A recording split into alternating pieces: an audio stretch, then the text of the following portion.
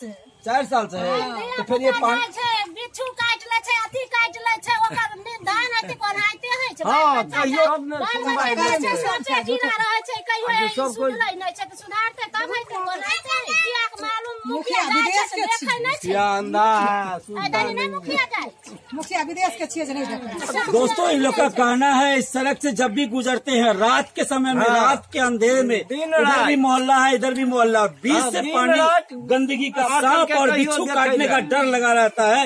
यहाँ तक कि स्थानीय लोग जब कह रहे हैं कई बार सांप बिच्छू काट भी लिया है कहीं बच्चों को? बहुत तरह की समस्या यहाँ पे बनी रहती है। वो भी बसे हुए है और यहाँ जो आप घूम रहे हो यह एस सी एस टी का मोहल्ला है और इस कारण हम तो ये समझते हैं कि इसी कारण कारण बहुत सारे लोग यहाँ बीमार पड़ रहे हैं मर रहे हैं यहाँ रोड नहीं बनाया जा रहा है। व्यवस्था नहीं है तुम दबे रहो। नहीं है यहाँ लोग मर रहा है परेशान है। और यहाँ पानी का भी व्यवस्था सरकार की ओर से कहा जा रहा है कि विकास की ओर जा रहा है पंचायत विकास की ओर जा रहा है। ये सब सारी बातें झूठ है। हमने जब प्रखंड विकास पदाधिकारी से कहा कि इस रोड की समस्या को आप दूर करें इसमें सभी गरीब तबके के लोग बसे हुए हैं।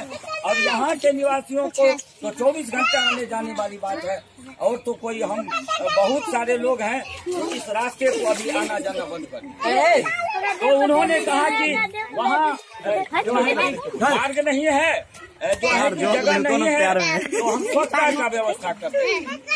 लेकिन आ, हमने कहा कि आप स्वच्छता कितना बनवाओ इस पानी को स्वच्छता तो नहीं सोच सकता। है इसलिए जब तक आप इसमें नाला नहीं बनाओगे तो इस पानी का निपटारा नहीं होगा और पानी हमेशा इसी तरह से रुका रहेगा और यहाँ जन जनजीवन अस्त व्यस्त ही रहेगा इस बात को जानिए और फिर हमने इनसे ये भी कहा है अगर आप हम लोगों की समस्या का दसौत की समस्या का आप अगर निदान नहीं कीजिएगा तो आप यकीन मानिए कि हम कितने मोहल्ला निवासी हैं? सौ हो दो सौ चार सौ पाँच सौ हज़ार की संख्या में हम आपके प्रखंड न्यायालय को भेज देंगे। प्रदर्शन करेंगे।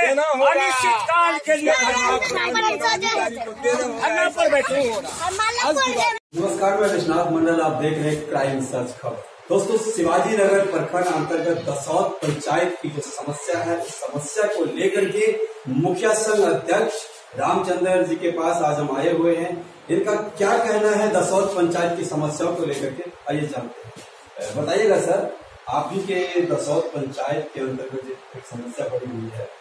हर जगह गली और मोहल्ले में कीचड़ और कचरा का पूरा मार लगा हुआ है। देखिए, मुखिया जी से बातचीत करने के क्रम में बताया गया कि आरयू सड़क और आरयू सड़क में जो है, हम कुछ कर नहीं सकते हैं क्योंकि आरयू से अनापत्ति प्रमाण पत्र लेना पड़ेगा।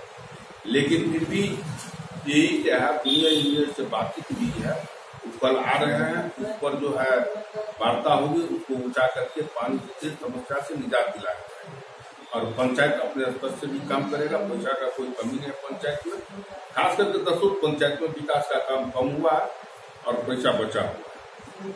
लेकिन मुखिया जी आश्वासन के बाद हमको आशा है कि मुखिया जी काम करेंगे नहीं करेंगे तो हम प्रेशर करेंगे काम के लिए तो काम अच्छा से करें।